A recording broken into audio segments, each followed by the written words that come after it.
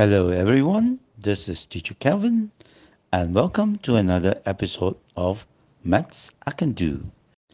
Today, you're going to be watching a video conferencing lesson on the topic of solving math question from a renowned school.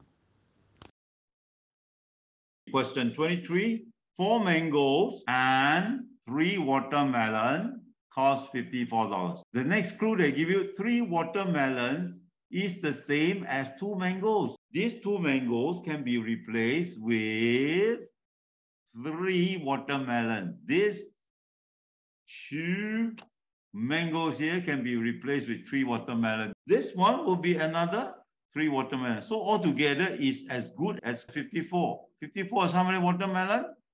This is a unit unit, unit, unit, unit. So how many unit can you see? They can see nine, right? Nine watermelons. Can you see? So nine unit is 54. So the next step, you take unit is equal to 54 divided by 9, which is 6, right? Yes? So now this unit is 6.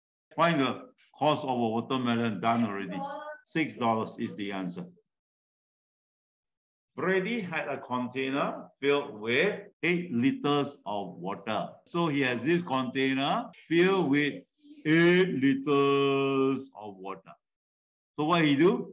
He poured two fifth liters into bottle A and three ten into bottle B. How much water was left in the container? So it is eight liters.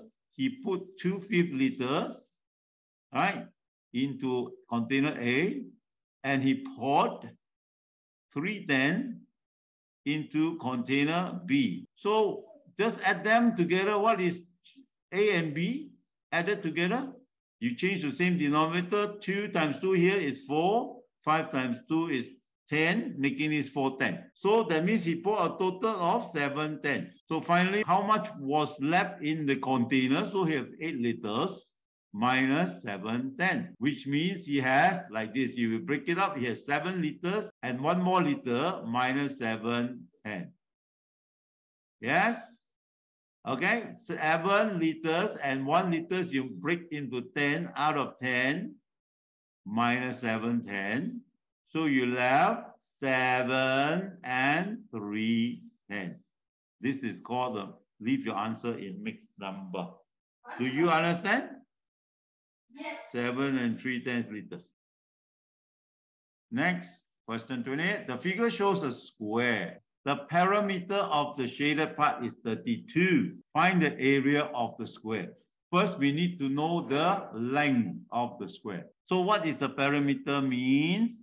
The perimeter means uh, they are the outside, all the outside. Okay, so the perimeter consists of here, seven.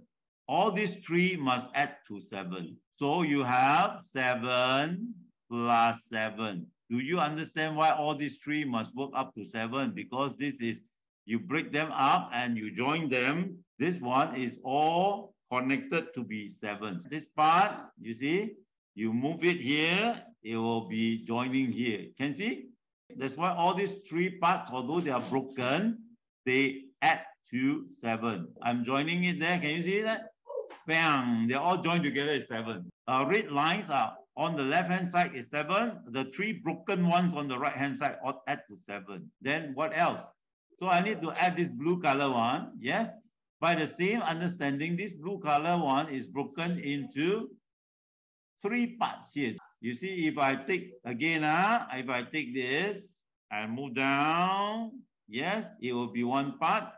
So if I take the middle part, I move down, it will join here. Can you see? So if I take the third part and move down, it will be the three of the blue broken ones will join to one long blue ones. Can you see now?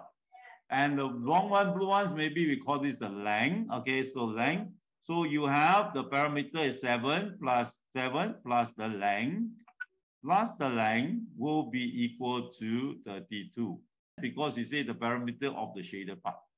Okay, so in that case, two length here, here will be 14. It will be equal to 32. This one is two length here, two length plus 14 will be equal to 32. So 2 length is equal to 32 minus 14, which is 18. Yes? So 2 length will be 18. Length will be equal to 18 divided by 2, which is equal to 9. So find the area of the square. We are not done yet. Huh? The length is 9. The length is 9. So the area of the square is length times length. Yeah, okay, which is 9 times 9, which will be 81 cm squared. Thanks for watching. And if you like what you see, do give us a thumbs up, share, and subscribe. And for more great tips like this, be sure to watch Maths I Can Do.